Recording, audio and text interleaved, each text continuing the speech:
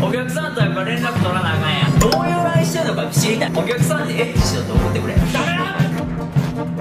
舐めてるい。ろんな刺しにくい君らまだ俺らもう大人組はもう終わったでい。やまだ記録もつかない。っすよこれ死にかけてるお前キモすぎだろこれこの文章おかしくないですか？もう。俺の文章見てみ。お前ら全員一緒やって。いや気持ちいいことしたら大概ほいほいエッチ。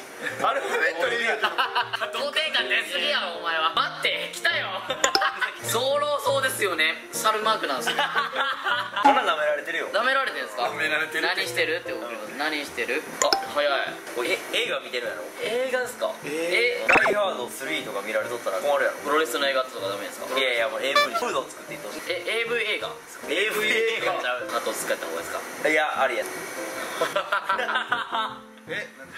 やマジで気持ち死ねって言われなんてや？あーあーお客さんが切れた絶対これ切らいいっすか？いいっすかちょっと。いやちょっとねついに来たよ僕も。童貞でしょ。ああ変身やったんや。まあでも返信来ただけで結構嬉しいですもうストレートに行こうか。ストレートにね。やらせてでしょもう。俺も切れたもん一人マジでキごモいって謝謝りましたからね。やらせて。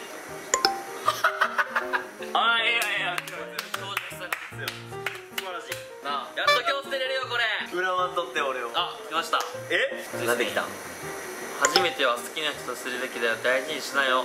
臭そうだしやりたくない。いやいやいやいやいやいや分かるよあれ最初の2行ぐらい分かるけど最後のおかしくないこれ臭そうだしおかしいですよねねえいや先輩方これどう思いますいやでも臭そうやもん臭そうええわもうブロックするわえー、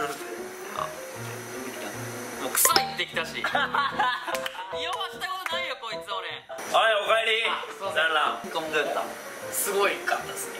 なんか えはいまあね今回こういう企画やったんやけどもね、まあ、あのホストはやっぱり連絡大事やし LINE を送った女の子にはまあまあ企画の一環やっていうのはな言うといて。や、はい。はい俺に責任持ってきやし一番コメントがやらせろ。